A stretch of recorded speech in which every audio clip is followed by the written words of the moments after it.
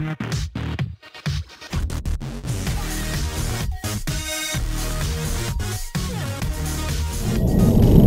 Martin to myfirstwheels.ie. Uh, this week I'm in another Volkswagen. Uh, I'm reviewing the brand new Mark 6 Volkswagen Golf Cabriolet. So, Volkswagen haven't made a Golf Cabriolet since.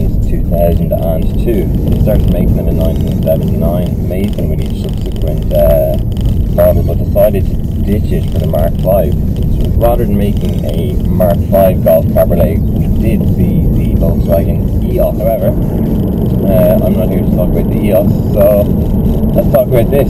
Alright, well, it, uh, this, this model here now is actually the 1.2 litre TSI uh, petrol unit, which produces 105 horsepower.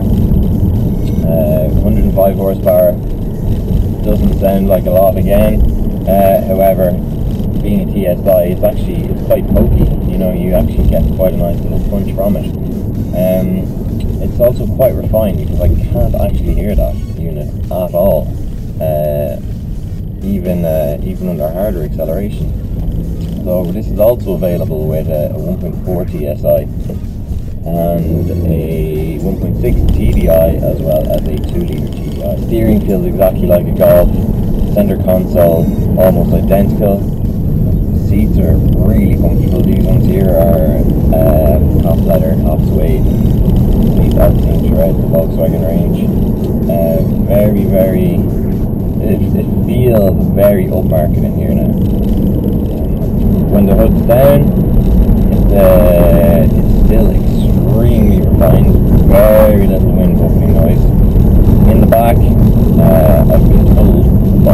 backseat passengers that it is quite breezy. However, in the front here, absolutely fine. It uh, you actually, it's going to sound ridiculous, but it doesn't really feel like the roof is down. Here goes a little switch just below the armrest, and we'll pop the roof down. Oh, there's a little bit of sunshine.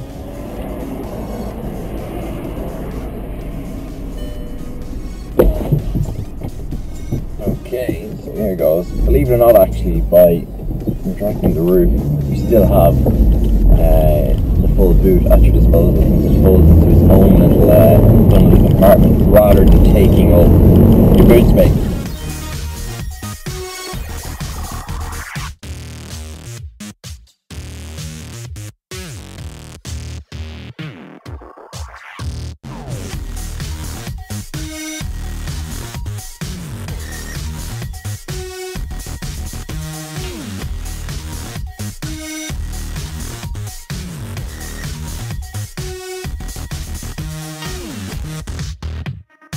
Easiest